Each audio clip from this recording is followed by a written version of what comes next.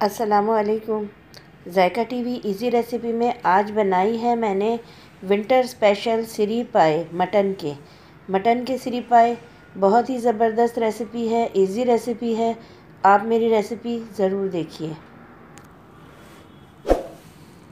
हमारे चैनल को सब्सक्राइब करें बेल के आइकन को प्रेस करें।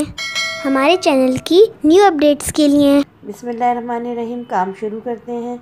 ये कुछ खड़े मसाले हैं, ज़ीरा एक चाय का चम्मच है, काली मिर्चें हैं दारचीनी लौंग, छोटी इलायची, बड़ी इलायची और एक ये गरम मसाले का पत्ता, जिसे हम तेज़पात कहते हैं। इसे हम क्वार्टर कप तेल में अच्छी तरह से फ्राई कर लेंगे। इसके बाद मैंने एक बड़े साइज़ की प्याज ली है, उसे रफली चॉप कर लिया है और इसे मैं अच्छी तरह से फ्राई कर लूँगी। ये मटन के पाए हैं, इन्हें अच्छी तरह से धो लिया है और धोने के बाद मैं इसे ऑयल में अच्छी तरह से फ्राई करूँगी। कम से कम 10 से 15 मिनट तक। ये अच्छे से फ्राई हो गए हैं, इसमें मैंने सिरी डाल दी है। सिरी को भी मैं अच्छी तरह से फ्राई कर लूँगी। ये सब चीज़ें तकरीबन 15-20 मिनट तक फ्राई हो जाएँगे। दो टेबल स्पून भर के मैंने लिया है जिंजर गार्लिक पेस्ट और वो मैं इसमें डालकर अच्छी तरह से भून लूँगी। इसे मैंने बहुत अच्छी तरह से भूनना है। भूनने के बाद ये बहुत ही ज़बरदस्त तैयार होगा। सीरी और पाए गरम मसाले, अदरक और लहसुन के साथ अच्छे से भुन रहे हैं और ये बहुत ही ज़बरदस्त भुनने के बाद मैं इसमें डाल दूँगी ये कुछ मसाले। कुटी लाल मिर्च है, धनिया पाउडर, पीसी हुई लाल मिर्च और हल्दी और नमक। आपके टेस्ट के मुताबिक ये सब चीज़ें जो मैंने डाली हैं, ये एक चाय का चम्मच डाली है, वन टीस्पून। इसे भी मैं अच्छी तरह से इसके साथ मिक्स कर लूँगी। और इसमें मैं तकरीबन चार गिलास के करीब पानी डालकर इसे गलने के लिए रख दूँगी। इसे मिक्स कर लूँगी और ढक के इसे गलने के लिए रख दूँगी। और हम इसे बीच बीच में चेक भी करते रहेंगे।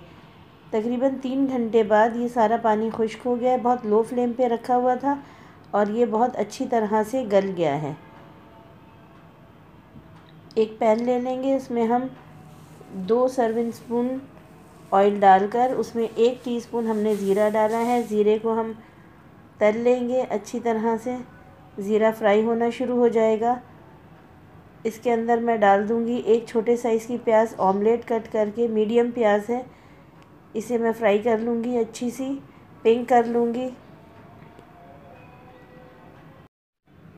ज़ीरा और प्याज अच्छा सा फ्राई हो गया है। इसमें एक टेबलस्पून लहसुन, अदरक का पेस्ट, जिंजर गार्लिक पेस्ट डालकर अच्छा सा फ्राई कर लेंगे। फिर इसमें एक टीस्पून लाल मिर्च, एक टीस्पून नमक, एक टीस्पून हल्दी पाउडर डालकर बहुत अच्छी तरह से भून लेंगे। मसाले भुन जाने के बाद 250 ग्राम दही है। इसे डालकर अच्छी तरह फ्राई कर लेंगे। चार चीज़ें हैं ये, छोटी इलायची, लौंग, जायफल, जावत्री। जायफल बहुत छोटा सा पीस है, एक चुटकी के बराबर। इन सबको मैं पीस लूँगी और ये मैं दम पर डालूँगी। दही और मसाले अच्छी तरह भुन गए हैं, तेल अलग हो गया है। आप देख सकते हैं, बिल्कुल अच्छा सा भुना हुआ मसाला नज़र आ रहा है और इस भुने हुए मसाले को मैं अच्छी तरह से भूनने के बाद ये जो मैंने सिरी पाए गला कर रखे हैं, इसके अंदर डालकर मिक्स कर दूँगी। इसमें पानी बिल्कुल भी नहीं है, खुश्क हो चुका है। और ये सिरी पाए इसमें डालकर, सिरी पाए में मसाला डालकर, इसे मैं अच्छी तरह से मिक्स कर लूँगी। फ्लेम को मीडियम रखूँगी और इसमें एक कप पानी डालकर शोरबा कर लूँगी जितना मुझे चाहिए और इसे दम पर रख के पका लेंगे। अब ये तैयार हो चुका है। जो चार चीज़ें मैंने दिखाई थी, उसे मैंने कूट लिया है और ये मैं दम पर डाल दूँगी। बेहतरीन, ज़बरदस्त सिरी पाए तैयार हो गए हैं। बहुत ही इजी रेसिपी है। बहुत ज़बरदस्त बने हैं। आपको यकीनन पसंद आएँगे। गार्निश कर दीजिए हरा धनिया और हरी मिर्च अदरक के साथ। और बहुत ज़बरदस्त सिरी पाए तैयार हैं। मेरी रेसिपी आपको पसंद आए, आप इसे लाइक करें शेयर करें। मेरे चैनल को सब्सक्राइब करें।